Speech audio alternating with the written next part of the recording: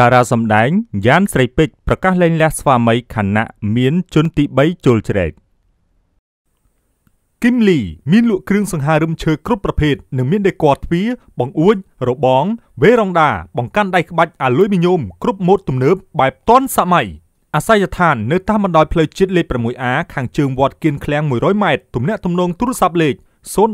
70 34 35 011 89 46 89 មនុស្សពីរនាក់សម្រេចចាប់ដៃគ្នា សាងជីវិតអាពាហ៍ពិពាហ៍មិនមែនមានន័យថាជាចំណងស្នេហ៍ដ៏រឹងមាំនិងមានសុភមង្គលនោះទេ ប្រសិនបើភាគីណាមួយមានចិត្តវិវេជាក់ស្ដែងក្តីស្រឡាញ់របស់នារីរូបស្រស់មួយរូបដែលមានអាយុកាលជាង11ឆ្នាំត្រូវបានឈានដល់ទីបញ្ចប់ទាំងឈឺផ្សាក៏ព្រោះតែភាពសាវ៉ារបស់បុរសមួយរូបដែលមិនអាចឲ្យនាងលើកលែងបានជាក់ស្ដែងតារាសម្ដែងយ៉ានស្រីពេជ្រ និងជាពិធីការនីម្នាក់ដែលធ្លាប់មានភាពល្បីល្បាញខ្លាំងពេលនាងប្រឡូកក្នុងសិល្បៈតែសុកចិត្តលះបង់ការងារសិល្បៈភ្លាមភ្លាមបន្ទាប់ពីនាងបានរៀបការសាងគ្រួសាររួចដើម្បីយកពេលរបស់ខ្លួន មើលថែស្វាមីនិងកូនដែលដំបងឡើយជីវិតអាពាហ៍ពិពាហ៍របស់នាងពិតជាផ្អែមល្ហែមនិងមានក្តីសុខបំផុតពេលមានចំណងដៃអាពាហ៍ពិពាហ៍របស់នាងនិងស្វាមីនោះគឺ វត្តមានកូនស្រីដ៏ស្រស់ស្អាតមួយរូបចូលមកក្នុងជីវិតប្តីប្រពន្ធរបស់ពួកគេ តែ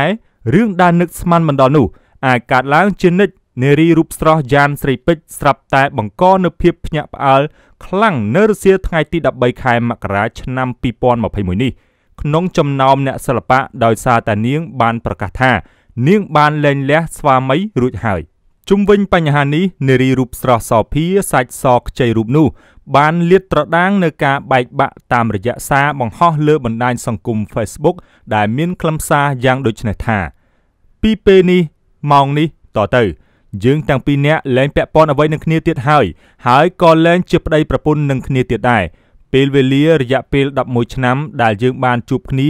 បានស្រឡាញ់គ្នា កាន់ដៃគ្នា មានអនុស្សាវរីយ៍ច្រើនរាប់មិនអស់ តែពេលនេះវាបានចប់សពគ្រប់អស់ហើយជួបគ្នាធ្វើអ្វីបើគង់នឹងមានថ្ងៃនេះអ្វីដែលខ្ញុំស្អប់បំផុតគឺការបែកបាក់គ្នាខ្ញុំបានព្យាយាមធ្វើគ្រប់យ៉ាងអស់ហើយសូម្បីតែគ្រួសារមួយនេះនឹងមិនចង់ឲ្យកូនខ្ញុំកំព្រីឪពុកដូចខ្ញុំទៀត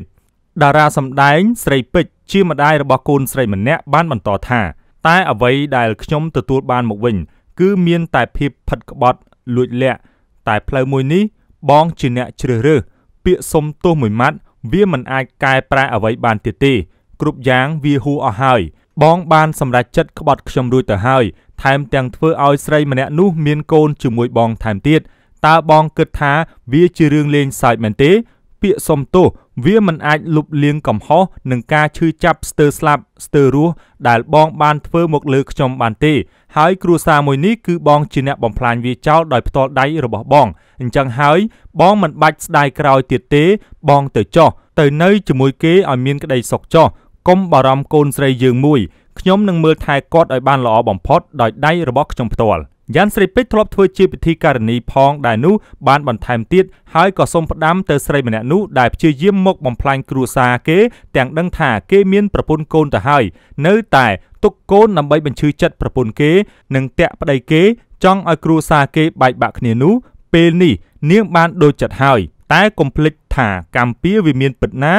នាងសាងអ្វីដាក់ខ្ញុំនិងគ្រួសារខ្ញុំកម្ពុជានោះនាងអ្នកទទួលយកចោះ ថ្ងៃនេះនាងអាចសប្បាយនៅពេលដែលឃើញខ្ញុំយំតែថ្ងៃក្រោយអាចជាវេនរបស់នាងក៏ថាបានខ្ញុំស្លូតណាស់មិនធ្វើអ្វីនាងទេព្រោះខ្ញុំមានតម្លៃជាមនុស្សហើយនេះក៏ជាសារផ្ដាំទៅមនុស្សប្រុសទាំងឡាយដែលមានប្រពន្ធហើយមុននឹងចង់យកស្រីក្រៅមកលេងសើចត្រូវគិតឲ្យបានច្បាស់ថាតើវាអាចបំផ្លាញគ្រួសារយើងដែរឬអត់ កុំឲ្យមានវិបដិសារីដោយសារតែការលេងសើចរបស់យើង ព្រោះវាអាចធ្វើឲ្យយើងបាត់បង់គ្រប់យ៉ាងក៏ថាបាន នៅថ្ងៃណាមួយជីវិតពិតនៃស្នេហា មានជួបក៏មានបែកគឹមលីមានលក់គ្រឿងសង្ហារឹមឈើគ្រប់ប្រភេទនិងមានដេគ័រទ្វារបង្អួចរបងវេរ៉ុងដាបង្កាន់ដៃក្បាច់អាលុយមីញ៉ូមគ្រប់ម៉ូដទំនើបបែបទាន់សម័យអាស័យដ្ឋាននៅតាមបណ្ដោយផ្លូវជាតិលេខ 6A ខាងជើងវត្តគៀនឃ្លាំង100ម៉ែត្រទំនាក់ទំនងទូរស័ព្ទលេខ 015 70 34 35 011 89